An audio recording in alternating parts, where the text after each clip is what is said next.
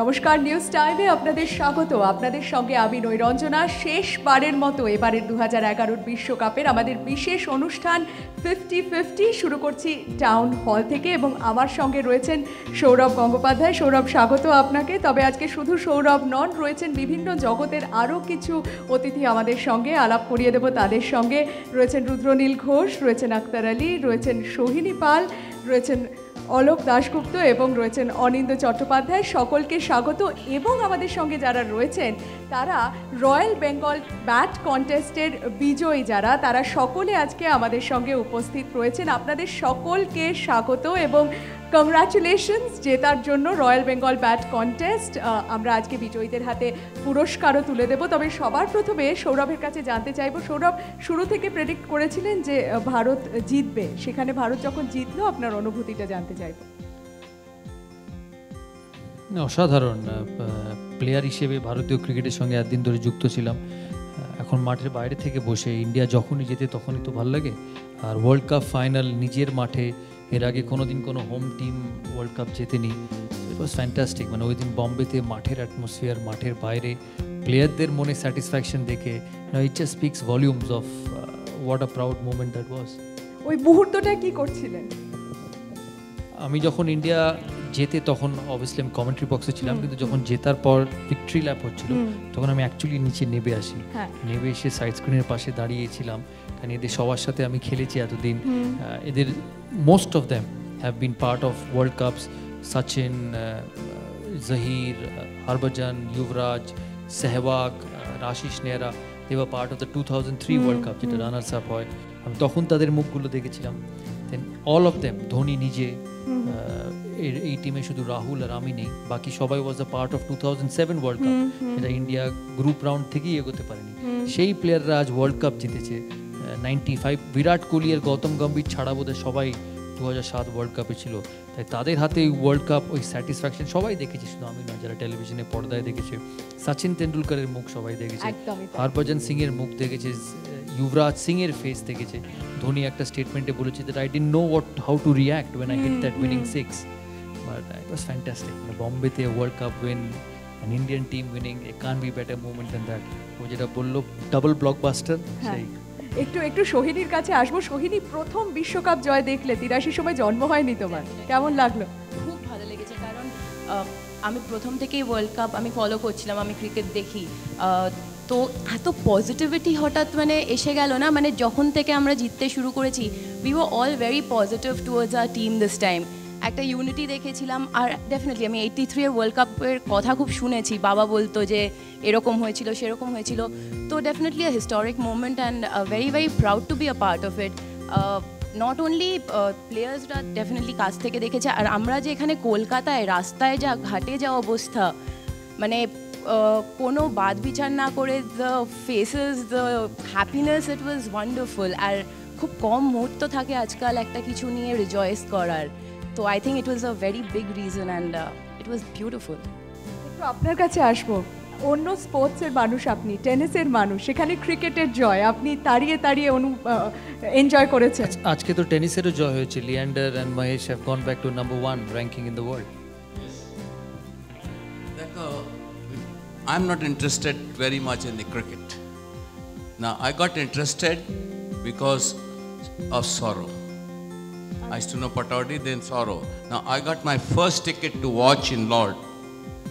যবে আমি লন্ডনে ছিলাম উইম্বলডন জন্যে ওই সময় আমাকে আজহারউদ্দিন একটা টিকিট দিয়েছিল বলে আকে দেখিয়ে बंगाल का टाइगर खेल रहा है आपका Yes.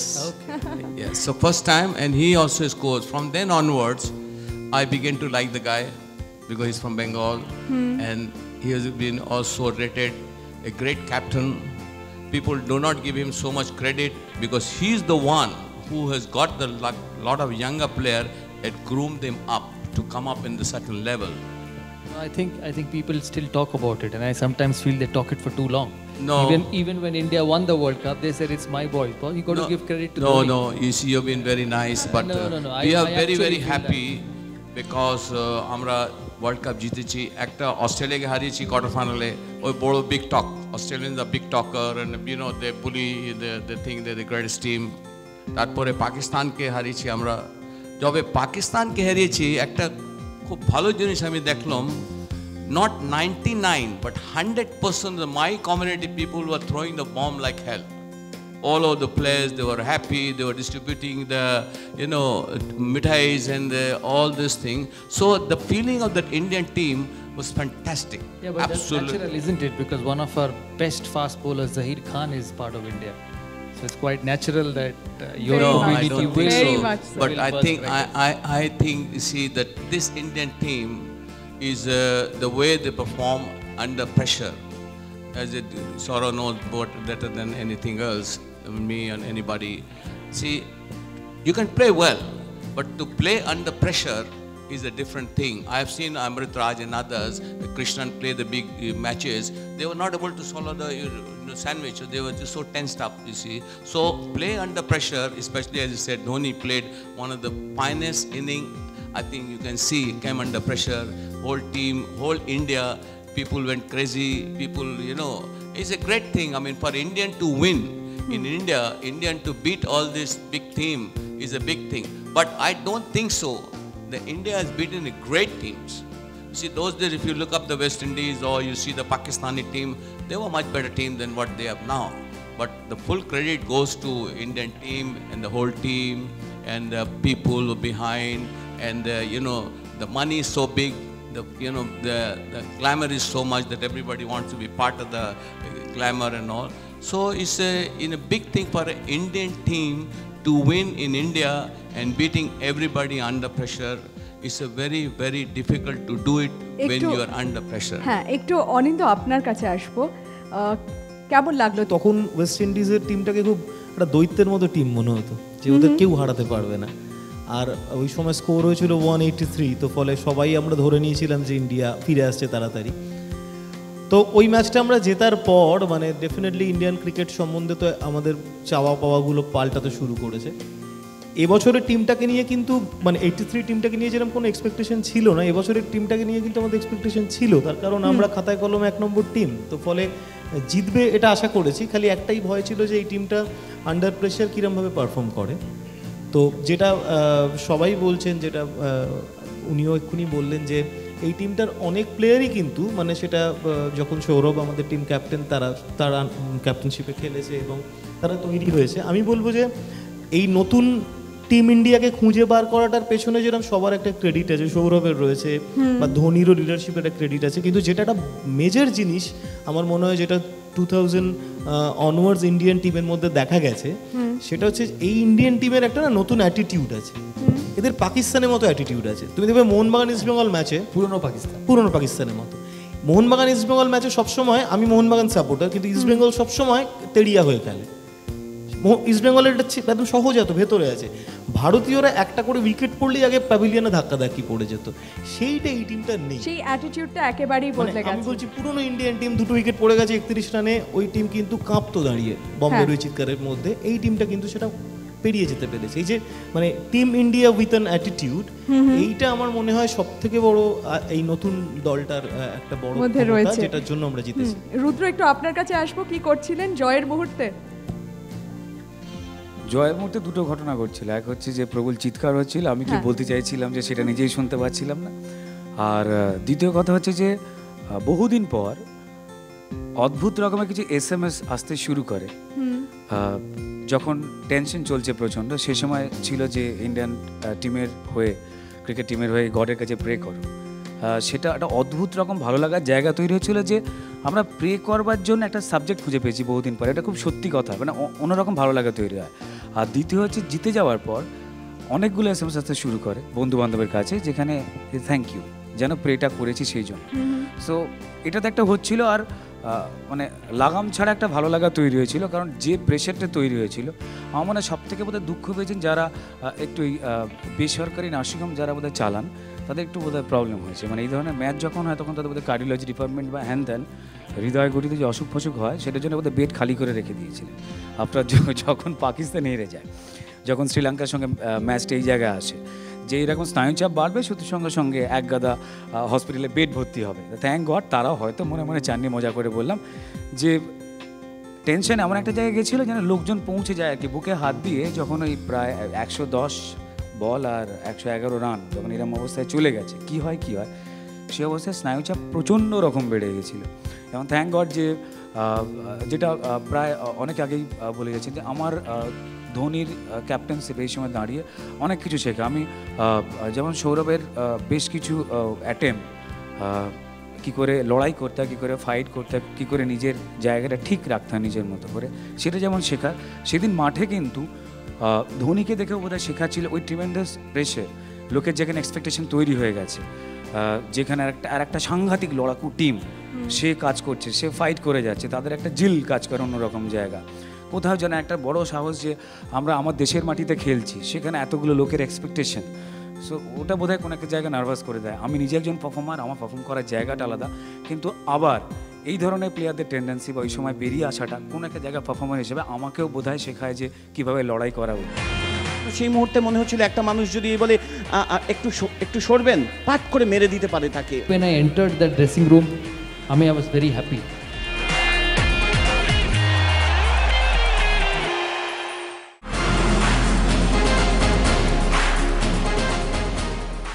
আপনাদের জানিয়ে রাখি আমাদের মধ্যে এই মুহূর্তে আরও একজন অতিথি এসে পৌঁছেছেন। দেবজ্যোতি মিশ্র স্বাগত আপনাকে। জয়ের পর আপনার অনুভূতিটা জানতে চাইব।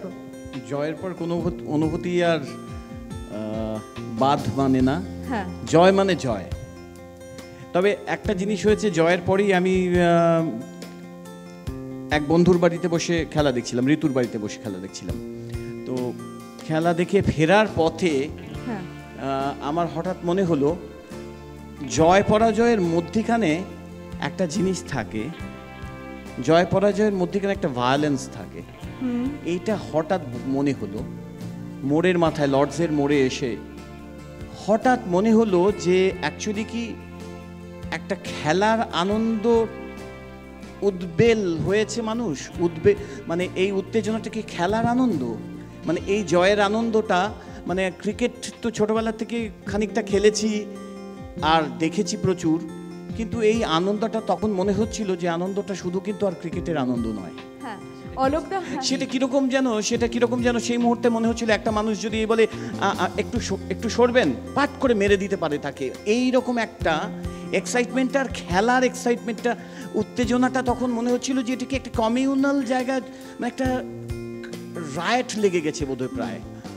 এবং সেদিন ডেফিনেটলি খেলার মাঠেও আমরা দেখছিলাম কি করে মানে ওই রকম এক ক্রাইসিস পয়েন্টে দাঁড়িয়ে তাই না রুদ্র? ক্রাইসিস পয়েন্টে দাঁড়িয়ে যে যেগুলো মোকাবেলা করছে তা প্রত্যেকটা আমি খেলার অনুপঙ্খ দিয়ে আমি বলব না কিন্তু বুঝতে পারছিলাম যে এটা একটা সাংঘাতিক ঘটনা ঘটতে চলেছে। মানে ঐতিহাসিক ঘটনা যে তারপর ঘটছে সেটা তো আমরা দেখেছি সবাই। সেটা তো আমরা সবাই সেই উত্তেজনাটা সামিল হয়েছি।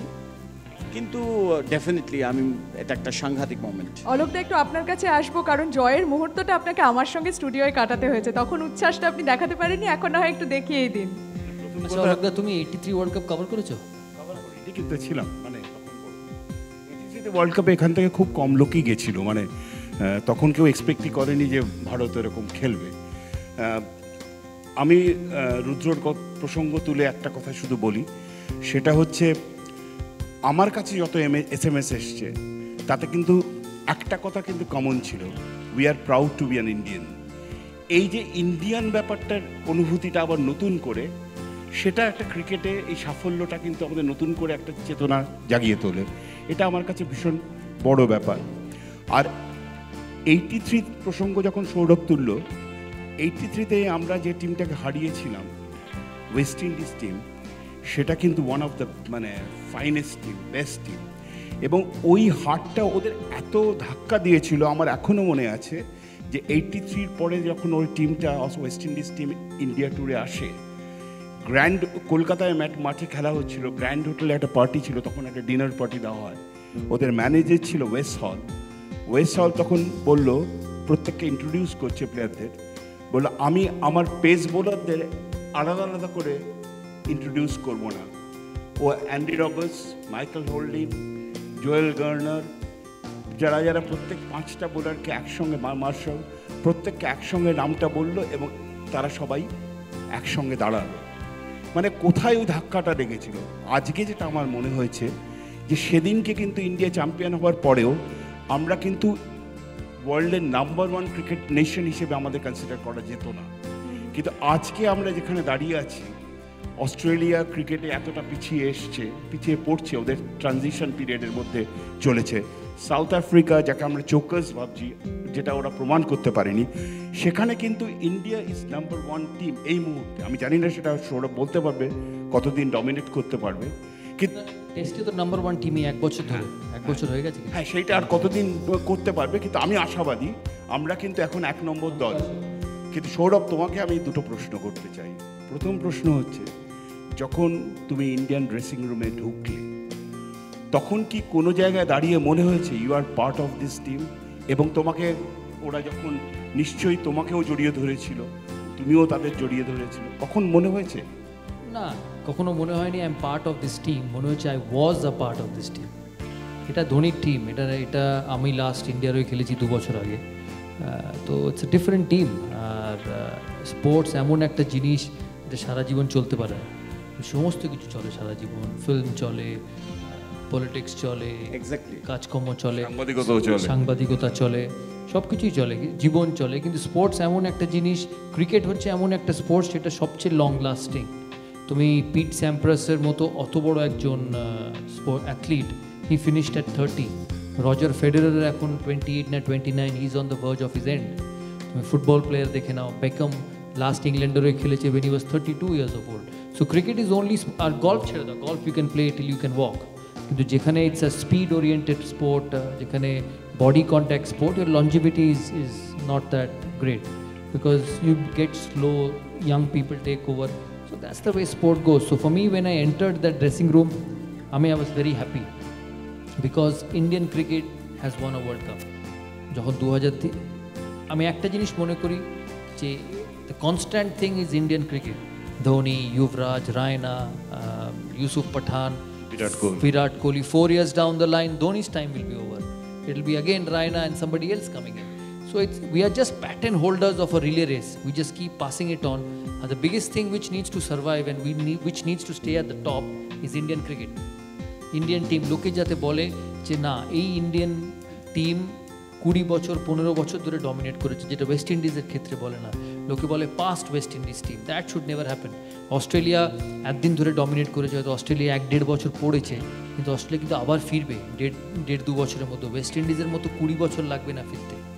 তো আমি মনে করি sports is specially when you play for a team individual sports ঠিক আছে?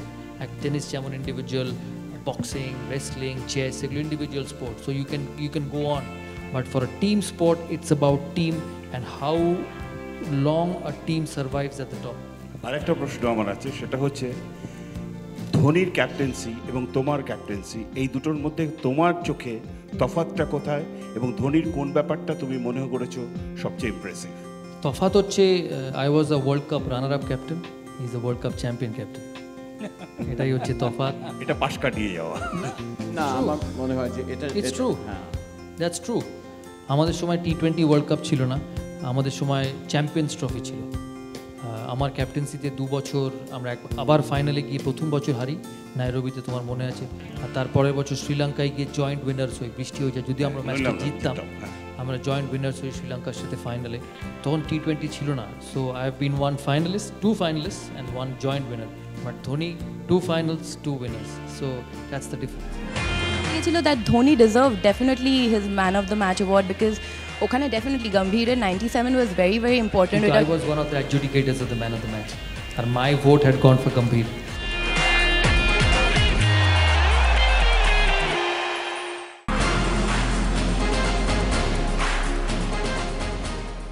সোহিনী কেমন লাগে ক্যাপ্টেন কুল মহেন্দ্র সিং ধোনিকে আমার ভীষণ ভালো লাগে আমাকে কালকে এর আগে আমি যখন কথা বলছিলাম একজন আমায় বলল যে who do you think deserve the man of the match do you think it was Gambhir because he made ninety seven ও ধোনি তো তখন ইট ওয়াজ ভেরি ইন্টারেস্টিং কারণ আমার সত্যি লেগেছিল that Dhoni deserve definitely his man of the match award because ওখানে definitely গম্ভীরের ninety seven was very very important I was one of the adjudicators of the man of the match.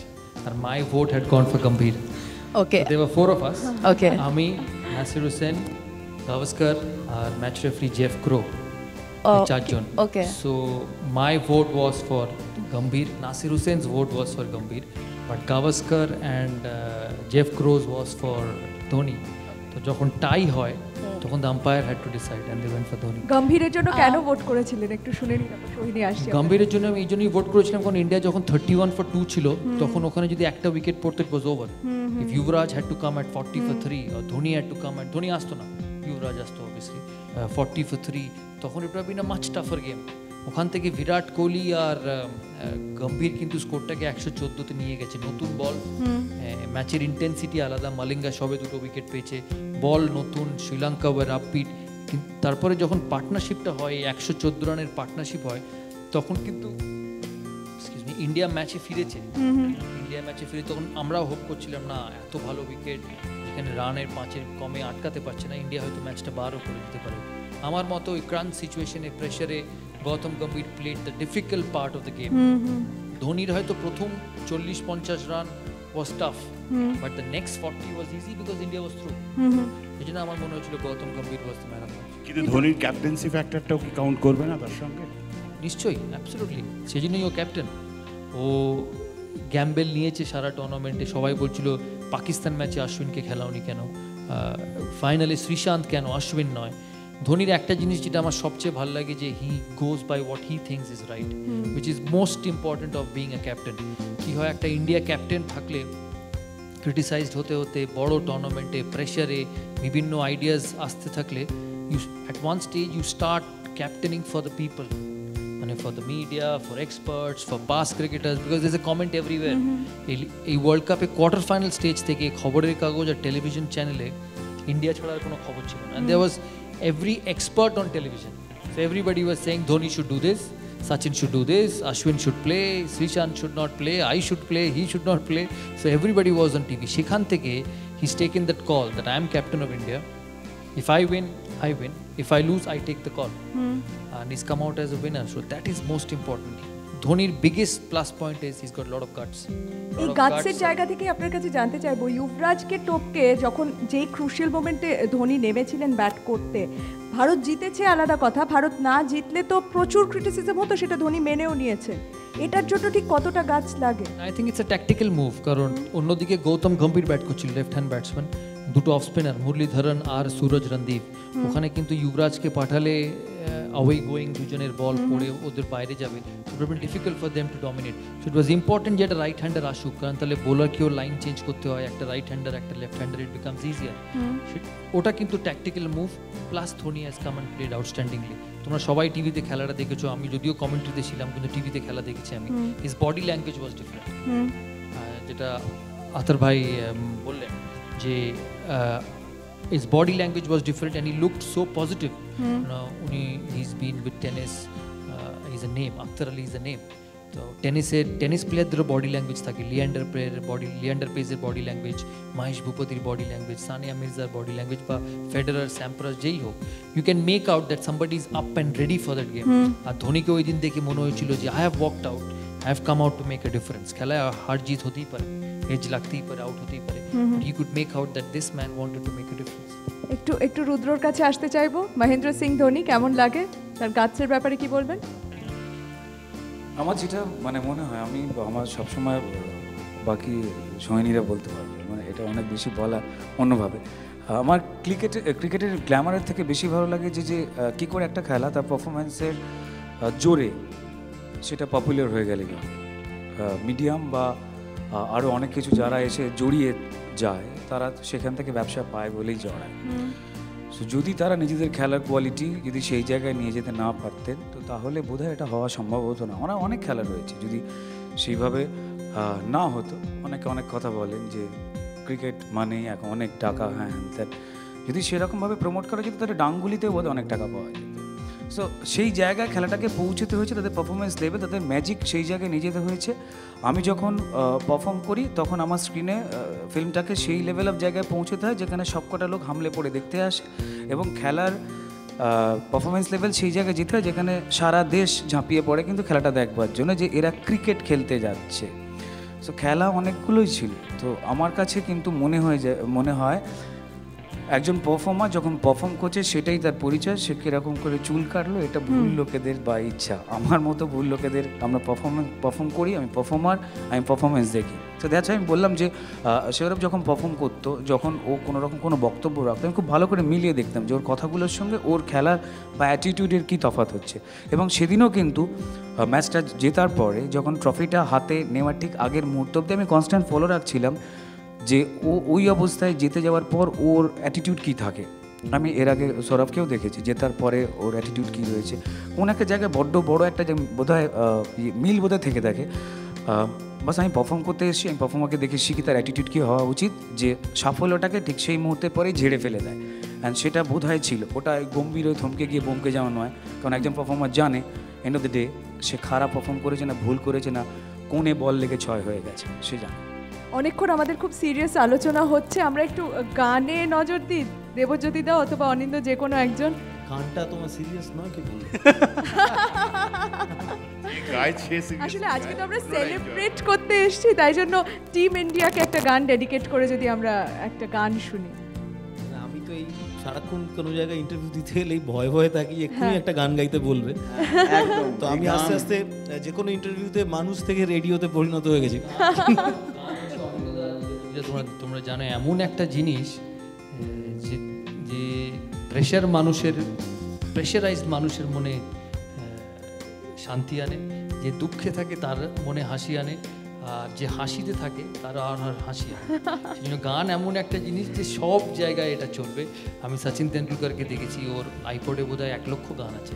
মানে গান মানুষের জীবনে কত বড় ইনফ্লুয়েন্স সেই জন্যই বলা আর কি যে যে সিচুয়েশনে ও গান ইজ মাস্ট আমরা খাব মুরকি মুড়ি, তোমরা চিকেন চাও। তোমরা হলে এসেন্সিয়াল আমরা হলাম ফাউ তোমরা খাওয়াও গণেশকে, দুধ শ্রীলঙ্কাকে ঘোল। আর সঙ্গে কারাজ গোহারা? বলছে হরি বল। ও খেলছে সচিন খেলছে সচিন পাহাড় প্রমাণ চাপ। ওই খেলছে সচিন খেলছে সচিন পাহাড় প্রমাণ চাপ। খেলছে সচিন খেলছে সচিন ধোনির হাতে কাপ। খেলছে সচিন খেলছে সচিন পাহাড় প্রমাণ চাপ। খেলছে সচিন খেলছে সচিন ধোনির হাতে কাপ। সত্যি সত্যিই তাই। দারুণ লাগল একদম মুডটা আরও জমে গেল। আবার একটু আমরা যদি মিস্টার আলীর প্রশ্নের উত্তরে শিখেছো কখনো? এই উত্তরটা আমি অফ এয়ার দেবো অনুষ্ঠানের পর। আমাকে গাইতে বললে একদম হবে না। তুমি তো আমাদের অনেক প্রশ্ন করেছ আমাকে আমাকে লাস্ট এক মাস ধরে প্রশ্ন করে যাচ্ছ। তুমি off air দিলে ব্যাপারটা offside হয়ে যাবে। চাপে রেখেছো দেবশ্রী দেবজ্যোতিদাকেও চাপে রেখেছো। তা- তা আমরা কি তোমার উপর চাপ ক্রিয়েট করতে তাহলে তাহলে তোমার আর আমার ডুয়েট হবে। যেটা আমাকে খেলতে বলো আমি রাজি আছি। আমাকে অ্যাঙ্কারিং করতে বলে আচ্ছা আমি রাজি আছি। রুদ্র আছে। আমি আমি করতে গেলাম আচ্ছা হ্যাঁ মিস্টার আলীর প্রশ্নের জবাবটা। you're a great player, great captain, and uh, you've been in this. I, what I have seen in my life, very little cricket.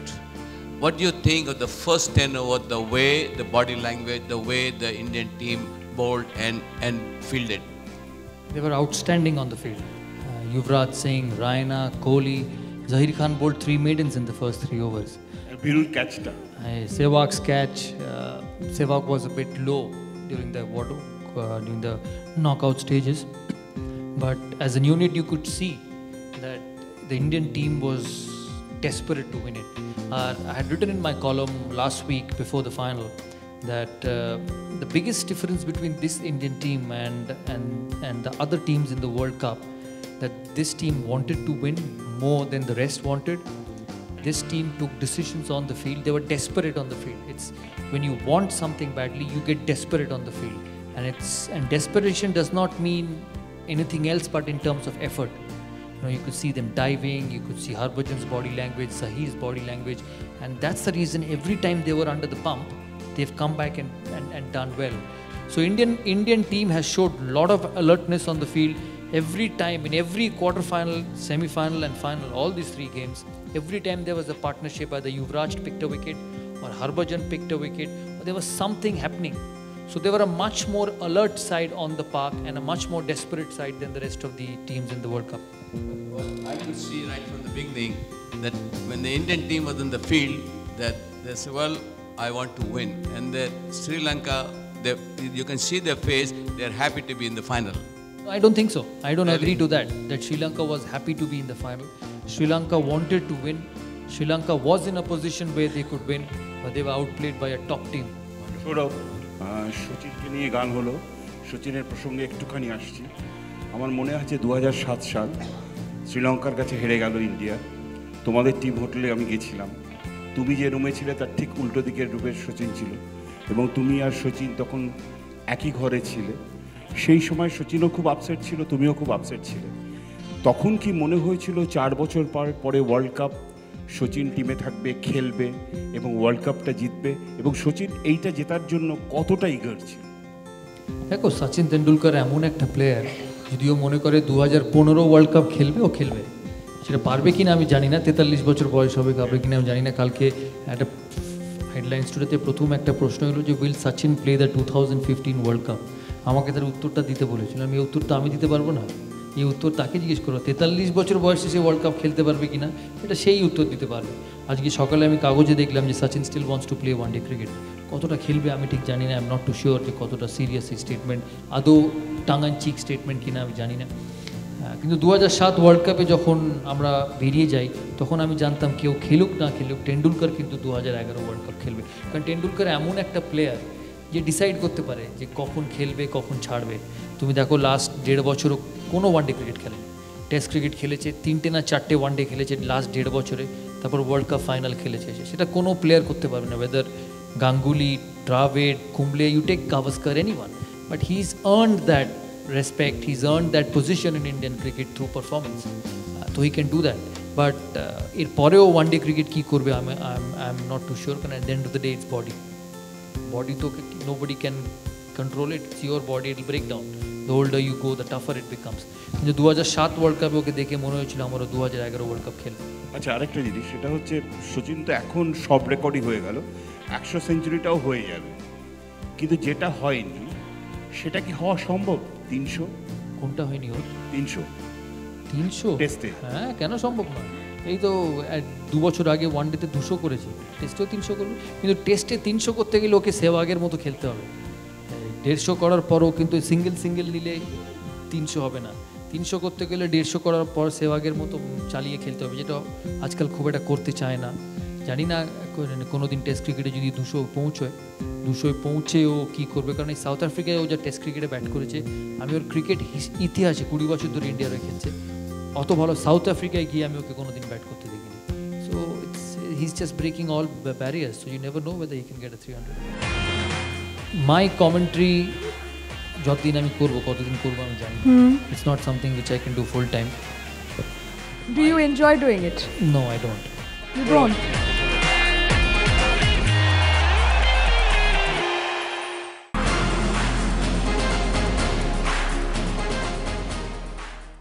Sourav এখানে একটু আমরা কিউরিয়াস সেটা জানতে চাই। নিশ্চয়ই এখানে আমাদের যারা দর্শকরা রয়েছেন তারাও জানতে চান। টসে সেদিনটি কি হয়েছিল?